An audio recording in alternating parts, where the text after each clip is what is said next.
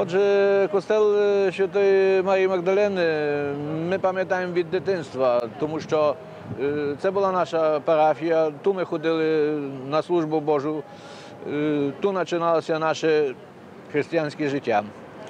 Е, Пам'ятаю також е, каплицю, баптістеріум, як називалося, де був фреск е, Розена, е, котрий представляв е, хрещення е, Ісуса Христа.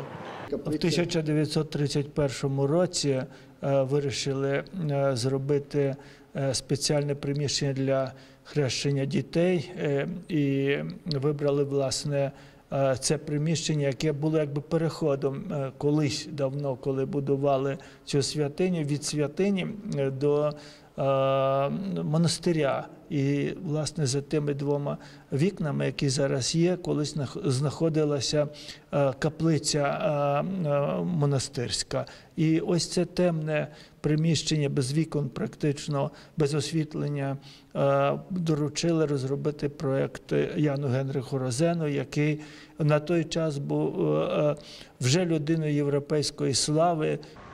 В 60-х роках минулого століття храм Марії Магдалини було пристосовано під органний зал Львівської консерваторії імені Лисенка.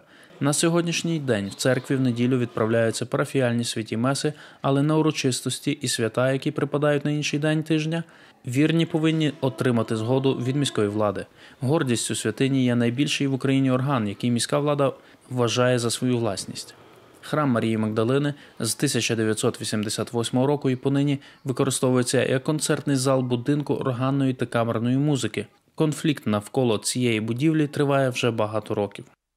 Е, Я є львів'янка, е, полька, і дуже страждаємо, так як не тільки я, але всі ті поляки, як тут і, греко-католики, українці, які приходять до нашої костели Марії, Марії Магдалени. Ми дуже би просили, щоб ви молилися за те, щоб нам віддали за Христю.